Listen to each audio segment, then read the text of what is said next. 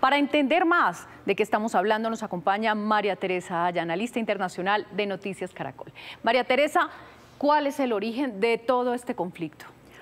Margarita, este origen, este conflicto tiene un origen que data casi de dos siglos.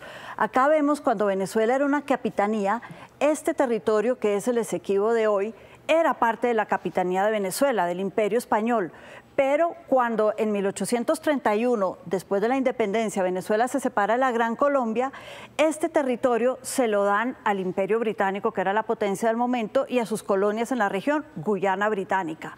Luego empieza una disputa. Desde ese momento Venezuela no acató eso, empieza una disputa que en 1899 hizo que unos abogados, un laudo internacional, unos abogados internacionales, tomaran una decisión y dijeran, no, esto sí es británico, señores, no hay nada que hacer. Venezuela no acató esa decisión y por eso está hoy en día retomando el territorio. Hay que decir que en 1966, cuando Guyana se hace independiente, se queda con el territorio que le habían dado a Gran Bretaña en su momento y busca ratificarlo ante la Corte Internacional de Justicia.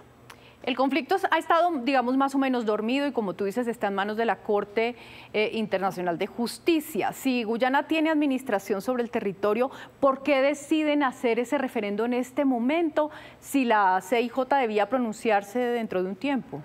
Porque Venezuela Margarita nunca ha aceptado las decisiones internacionales, ni el laudo de 1899, y menos ha dicho Maduro va a aceptar lo que la Corte Internacional de Justicia diga. Entonces siguen reclamando por este territorio de lado y lado. Hay que decir que ni siquiera en la época de Chávez, que Venezuela tuvo una relación muy cercana con Guyana por aquello de Petrocaribe y el apoyo que pretendía Chávez que Guyana le diera para toda su política en el Caribe, no lograron, a pesar de muchos acuerdos, resolver el tema del Esequibo.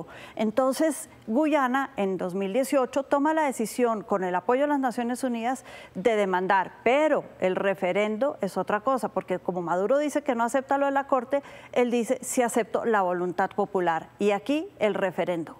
¿Y qué, busca, qué está buscando Maduro con todo esto? ¿Por qué hacen esto justo en este momento tan difícil políticamente en Venezuela?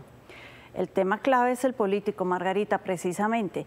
Y es que en este momento Maduro vio una oposición que está fortalecida después de las primarias de la oposición en noviembre. Y el tema del referendo, uno, le sirve a él para ganar réditos. La soberanía siempre le da réditos políticos a quien sea que la reivindique. Pero dos, el ponerlo en el mapa así, el hablar de ocho estrellas en la bandera de Venezuela, hace que suba la tensión con Guyana.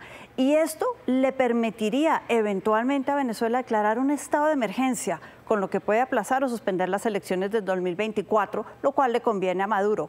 Pero también está el tema petrolero, y es que no solamente se hace a este territorio rayado, Venezuela, sino a la extensión marítima que viene de ese territorio, que es esta línea amarilla punteada.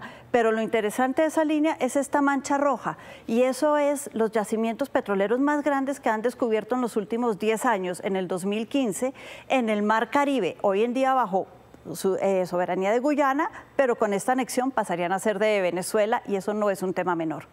Ya vemos razones políticas, razones económicas, muchos factores en juego en este conflicto. Gracias, María Teresa.